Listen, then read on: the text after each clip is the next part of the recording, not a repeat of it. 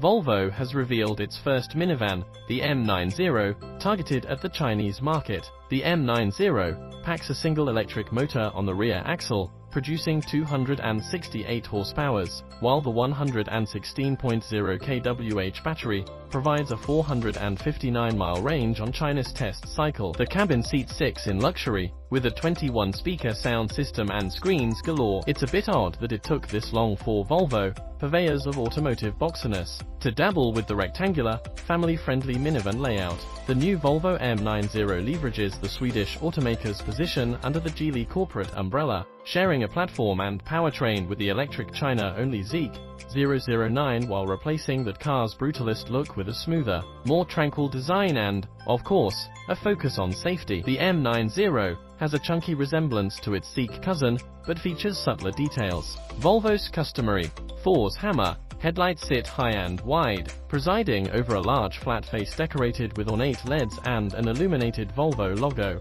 The rear features vertically oriented taillights, and a full-width light bar that includes a lit-up Volvo script, and the EM90 rides on 19 or 20-inch wheels. Volvo describes the EM90 as a comfortable living room on the move, so don't expect nimble handling. Unlike the dual-motor 536 HP Zeekr, the EM90 makes do with just one rear-mounted electric motor producing 268 horsepower. This will see the rear-wheel drive minivan dawdle to 62 miles per hour in a claimed 8.3 seconds, versus the Zeekr's 4.5 second dash.